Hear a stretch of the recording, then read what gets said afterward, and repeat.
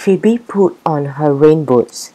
Mamma called them galoshes, and Grammy called them wellies, but Phoebe called them rain boots because that was what they were for, splashing about in the rain. Phoebe likes her boots a lot. But it wasn't raining today. So Phoebe decided to call them sun boots, and now she was ready for school. Phoebe's favorite teacher was Miss Martha. She was kind and smart. When Miss Martha saw Phoebe in her sun boots, she said, Well, we'll just have to put the sprinklers on after lunch and splash around.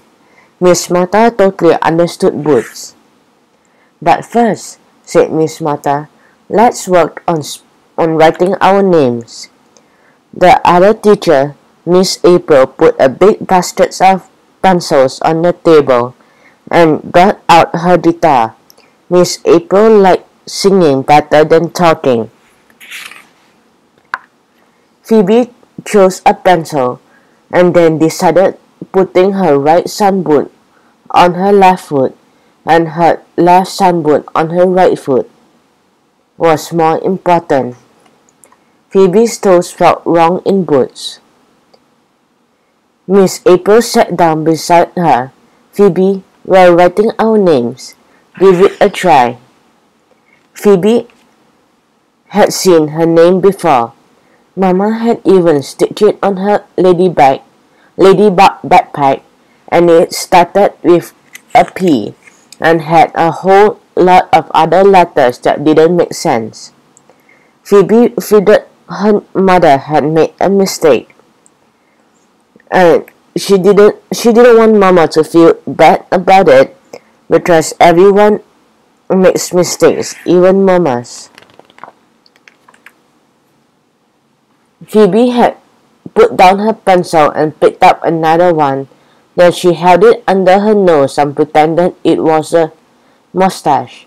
Miss april was floating around the table singing quietly. Just sound it out Phoebe sounded out the first letter of her name, F. This was certainly not how her name began on her backpack.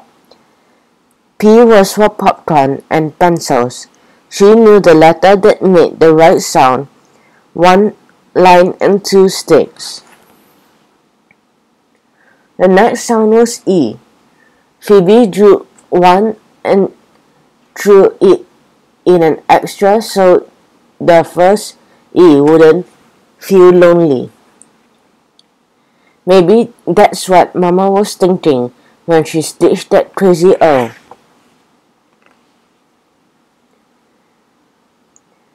And now Phoebe was at the letter she loved, the only one that made sense in the ladybug backpack.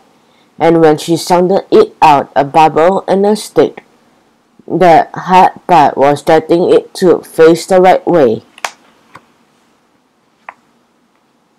At the end of the name was the E sound again. Phoebe wanted to try something different. Maybe she could borrow the letter that was at the end of Nikki's name. It sounded right. Nikki wouldn't mind.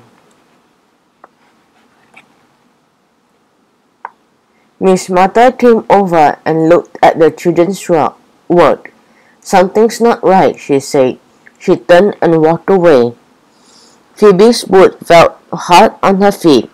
Maybe they really were only for rainy days. Miss Martha returned and placed a box on the table. We forgot to decorate our names with, super, with little glue. Phoebe liked glitter glue a lot. She opened the orange tube and squished it all over her name. It sparkled and shone.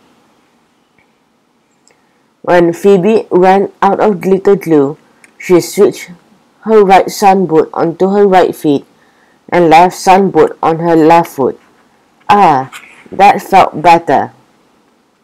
Phoebe handed her name to Miss Martha who smiled and said, What a great start!